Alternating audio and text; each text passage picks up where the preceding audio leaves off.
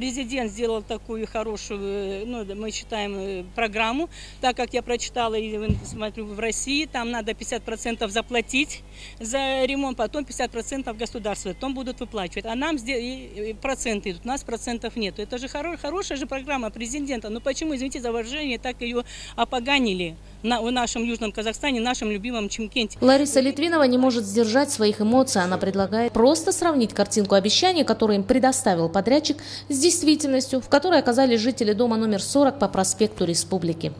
Вот, что они должны были нам делать. Значит, они нам должны делать. Мы лю- люди подписали. Значит, идет замена крыши, э, замена инженерных коммуникаций, это значит э, п- подвал, эти, канализация, ремонт подъездов, замена окон и, э, и дверей, и а, а, относки, от, отмостки дома, и обшивка балконов. Вот это вот, вот, это вот мы подписали. Вот. Вот. Они нам начали делать вот наши квартиры, пожалуйста.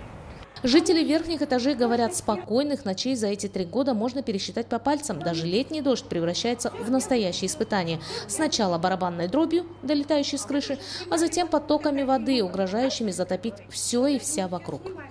В той квартире точно такая же вот процедура, точно такая же. 29-й. Ну а в сухую и безветренную погоду проблем жильцам доставляет подвал. Всего месяц назад жителям пришлось собрать по 3000 тенге и вызвать аварийную бригаду, которая откачивала воду из затопленного подвала. Здесь все погнило, здесь все перепорчено.